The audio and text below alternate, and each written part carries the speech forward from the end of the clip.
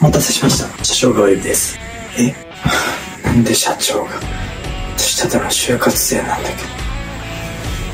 失礼します。どうぞ。失礼します。受付の方に。いや、よく来たね。あ、あの、はじめまして。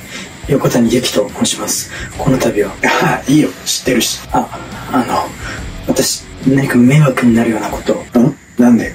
なんかしたの？あ、いやいや、そういうわけじゃないんですけど。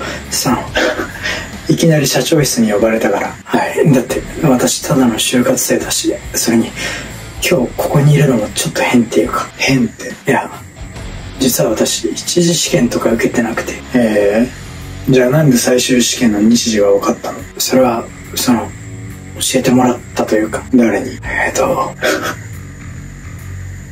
性善説と性悪説。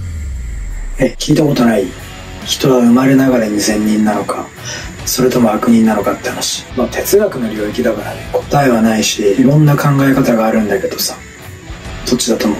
いや、僕はさ、性善説を信じたいんだよね。環境とかに左右されなければ、人は生まれながらに善人なんだって。あはい。で、いろいろ試してる時に、君に会ったってわけ。え？君はさ自分に余裕がないから感謝されたいって言ったんだよねそれがこう僕には衝撃的でであそっかって思ったんだよね。そもそも僕たちは単体で存在してるわけじゃないんだしこの問題を個人として考えるのはおかしいなって思ったわけ。集団じゃないと生きていけない僕たちはきっと感謝し合うことで優しくなれるんだなって。ああの君は利己的だって言ってたけどでも裏を返せばそれは自分のことを大事にしてるってことだよね。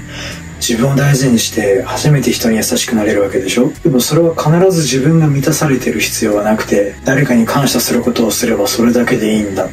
ああごめん熱くなっちゃった。何言ってるか分かんないよね。ああいえ。あの私に会ったっていうのは。あれ？まだ思い出せない？君に助けてもらったんだけど僕助けて。え？思い出した。あなたをえあの時の改めてこの前はありがとうね。いや。えだってうん。言ってなかったけどここの社長なの僕。あ。そう。なんですね。うん。であの時のお礼にさ僕も君に感謝されたいなと思って僕のために。え。だから君のお願いを一つ叶えてあげるよ。僕にできることなら何でも。お願いですか？うん君が今一番欲しいものをあげる。生きてていいって言われること。うん？あのうん。ここで働かせてください。うん。もちろん。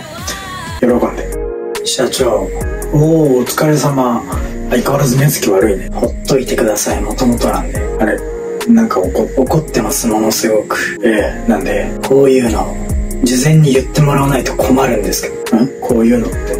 横谷由紀の件です。え言ってなかったっけ？聞いてません何も。ありゃでも印つけといたでしょ？名前の横に。あんな米粒みたいなもんを印とは言わないんですよ。でもちゃんと気づいたじゃん。大体社長が業務をほったらかしてあちこち行っちゃうからこっちの負担が増えるんでしょ挙句の果てに何です？人間の可能性を信じたいからホームレスになる。マジでホームレスにしてやろうか。ああの社長が好き勝手やるのは構いませんが日々の業務はこなしてください。伝わってます？日本語。あはい伝わってます。そうですか。ならよかったです。ででもみかけちゃんも変わってるよね。あ？あいやだってさその社長秘書が受付やるとか聞いたことないじゃん。だからそういうの興味あったんだなって。あるわけないでしょ。えそうなの？じゃあなんで？あなたが採用枠めちゃくちゃ広げちゃったからでしょ人が足りない上に変なやつも多くてこっちは気張ってるんですよ。だって新しい数入れたかったんだもん。だもんじゃねえよ子供か。うん。本当あなたがトップじゃなきゃみんな辞めてますからね。あだからね来月から給料3倍にするよ。は？いやだって僕一人の力じゃないでしょ？会社が成長してるのはみんなが頑張ってくれてるからだしせめてもの対価として。いつもありがとう。本当。ずるいわ